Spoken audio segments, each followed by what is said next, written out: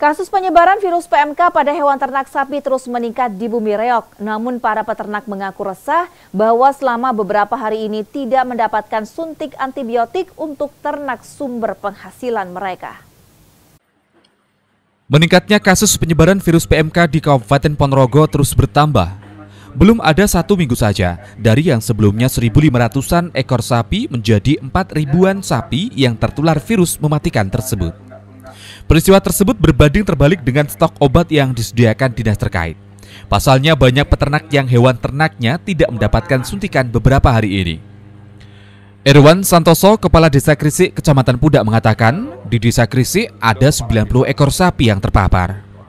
Yang terkena wabah PMK khususnya di Desa Krisik ini malah semakin banyak. Yang kemarin saja, kemarin itu 80 ekor, sekarang sudah pagi ini data yang masuk sudah 90 ekor dan hari ini dari tim medis maupun obat sudah tidak tersedia. Tidak ada tim medis Pak ini? Pada hari ini tidak ada tim medis ataupun dari untuk obat obatnya. Terus kabar yang paling parah sampai mati itu atau di, disembelih itu sekitar berapa Pak? Untuk di Desa Grise yang sudah mati ada sekitar 40 limanan lebih.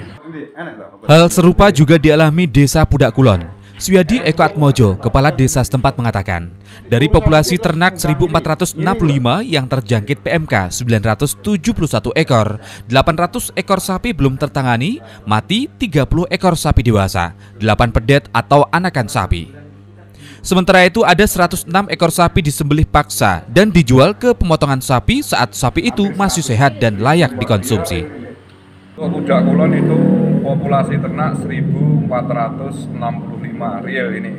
Yang terjangkit PMK mengarah ke PMK itu 791. Yang belum tertangani masih sekitar 800 mas untuk yang meninggal itu 30 sapi dewasa 8 pedet atau sapi kecil yang disembelih paksa itu 106 dijual ke pemotong-pemotong sapi artinya sapi itu masih sehat dan layak konsumsi. Di serial sekarang yang berdasarkan pengalaman jadi kami itu berdasarkan mulai terjangkit mulai tanggal 26 sampai sekarang itu yang mati 30 lebih sementara untuk tempat penguburannya kami juga belum punya.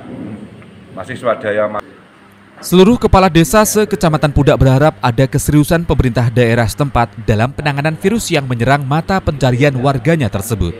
Selain itu, pemerintah juga harus menambah tim medis khusus hewan, pasalnya tenaga medis yang ada kewalahan dalam menangani jumlah hewan sapi yang melebihi jumlah penduduk di kecamatan Pudak tersebut. Ega Patria, CTV, Ponorogo.